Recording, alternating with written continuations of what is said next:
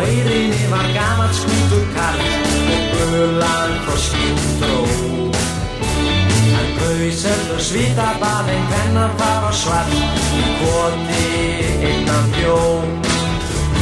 Og aldrei sá skvendur gamli eiðan nokkru fér og aldrei fjengan því.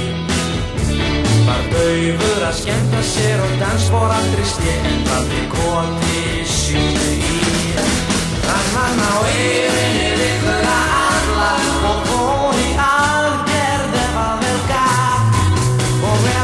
Hann döði til að afferma dalla Og Daniel og hann alla svaf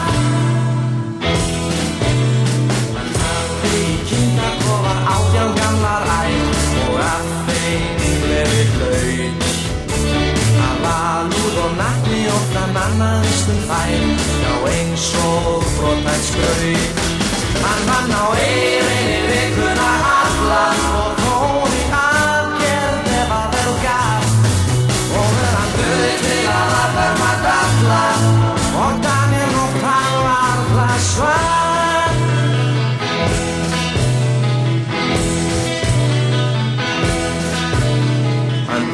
vendur á eirinni var gæða sál og hrein. Gauki hafði sín Liggur nú örþreyttur og lúin kvílir bein. Og leiði hans er tín. Hann var á eirinni